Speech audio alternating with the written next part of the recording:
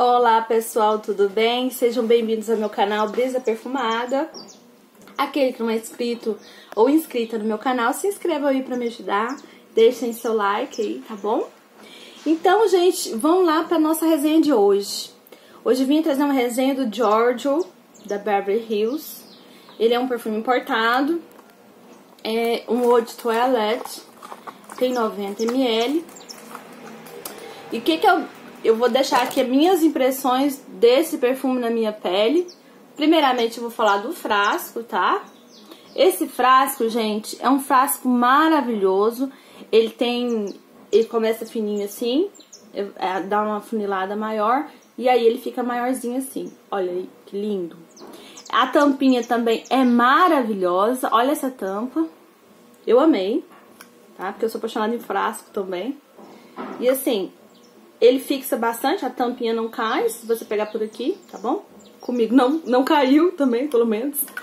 Então tá. O líquido é amarelado, que remete a algo solar, né? Uma coisa bem aberta, floral. E realmente esse perfume é uma explosão de floral. Floral. É, não sinto nada doce nesse perfume, minha opinião, na minha pele, não ficou doce como quem é acostumado a usar perfumes gourmands aí, acredito que não vai gostar muito dele. Ele é um perfume da década de, de 80, ele é de 1981, ok? Eu comprei ele no Mercado Livre, chegou tudo certinho, embaladinho perfeito, gostei. Gostei do vendedor, legal. Então, gente, esse perfume, de início você borrifa ele na pele, aí você pensa assim, não vou dar conta esse perfume é muito floral pra mim, eu não vou, não vou dar conta dele, porque ele é forte, gente. Se você subestima ele, pensa assim, ah, não, essas resenhas, esse povo aí fala tudo que ele é forte, ele não é forte. Tá, gente, ele é forte e, detalhe, ele não vai ficar fraco. Se você borrifou ele pensando, ah, ele vai ficar suavezinho, não, não fica, tá? Principalmente no calor. Borrifa ele no calor pra você ver que é uma bomba atômica. então, não borrifa no calor, por favor. Tenta assim uns dias mais amenos, à noite, sabe? Quando tiver mais fresquinho. Mas fica a critério de vocês. Então, gente, então de início ele abre esses, essa nota floral. Na minha pele foi assim, tá? Bastante evidente. Sinto a tuberosa, Sinto o jasmim. O jasmim, ele reina aqui nesse perfume. Ele reina. Gente, perdoei o barulho dos cachorros latindo, mas quando eu vou gravar, passa de tudo. É assim, quem grava aí sabe o que eu tô falando.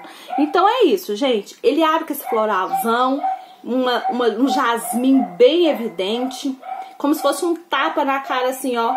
Um tapa na cara de flores, bastante flores brancas. Então é assim que ele abre.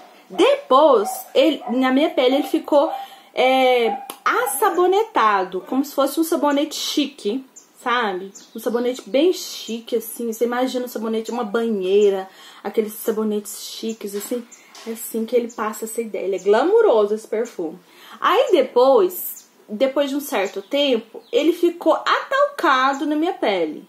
Então, primeiro foi floral ele fica é, assabonetado e por último ele ficou atalcado, bem atalcado, viu gente? Então, eu vou fazer um resumo de, de, perfumes que você vai, pode lembrar dele. Gente, não tô falando que é igual, tá? Vamos lá. Você pode ir no Dolce Gabbana, o, o Red. Ele vai passar ali no Dolce Gabbana Red. Depois ele vai passar um pouquinho no Chanel. E é isso, gente. Esse perfume, ele não vai ficar fraco o que, que eu tenho a falar da duração dele na pele? A duração dele na pele foi mais ou menos de umas. Na minha pele, tá? Foi de umas 6 horas. Entretanto, a projeção dele eu achei fraca na minha pele, tá? Ficou mais ou menos aí uma hora, quase que uma hora e meia, mais ou menos. Projeção. Isso num dia fresco, gente. Num dia mais de calor, assim, eu acho que ele vai ficar mais potente. Então, por isso, evite, assim, lugares, assim, muito fechados usar ele, porque pode incomodar as pessoas, sim, tá? Não subestime esse, esse Giorgio. Então, gente, essas são minhas impressões sobre eles, sobre ele, desculpa. É, qualquer dúvida que vocês tiverem, vocês deixam aí embaixo. Aceito sugestões de vídeo. Espero que vocês tenham gostado. Deixe seu like aí para me ajudar. Beijos, fiquem com Deus.